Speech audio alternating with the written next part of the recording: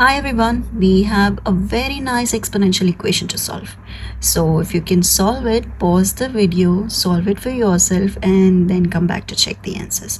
So here we have 3 to the power of x to the power of 2 over 9 to the power of x equals 81 and what is the value of x. So here what we are gonna do is just first split 9 as 3 squares. So we're gonna write it like this First we have 3 x squared over 9 can be written as 3 squared raised to x which is equal to 81. And now you should know this law.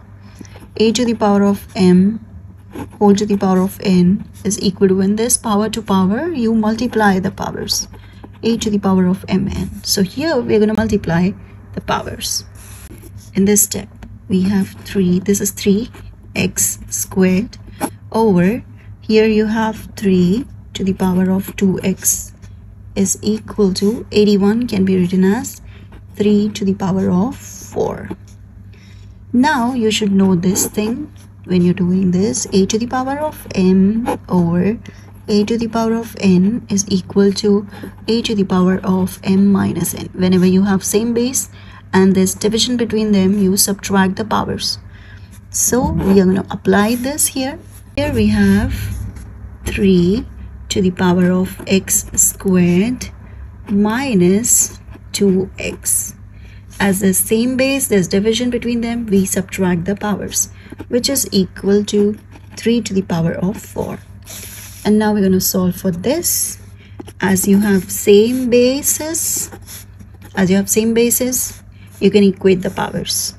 So we have x squared minus 2x is equal to 4 now bring 4 this side.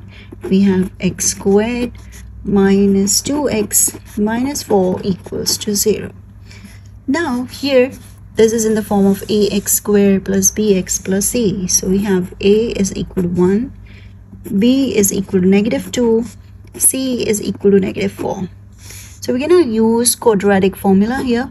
x is equal to negative b plus or minus under root of b square minus 4ac over 2a.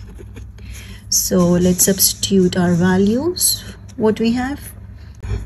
x is equal to negative of negative 2 plus or minus under root of b square that is negative 2 the whole square minus 4 times 1 times so we have negative 4 over 2 times 1 now let's solve for this one. What do we get? X is equal to you have negative of negative 2 that's positive 2 plus or minus under root of negative and negative makes positive 2 square is 4 4 minus and minus plus 4 times 4 16 so 4 plus 16 so we have 4 plus 16 over 2 and that can be written as 2 plus or minus square root of 20 over 2 x is equal to 2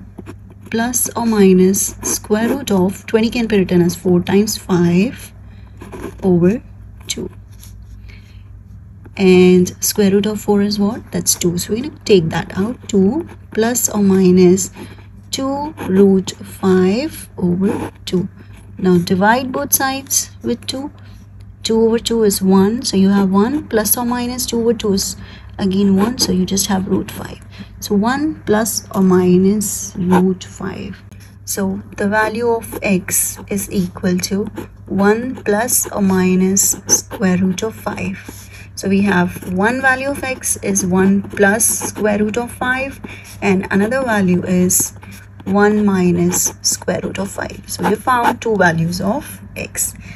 So thank you so much. Bye-bye. Take care.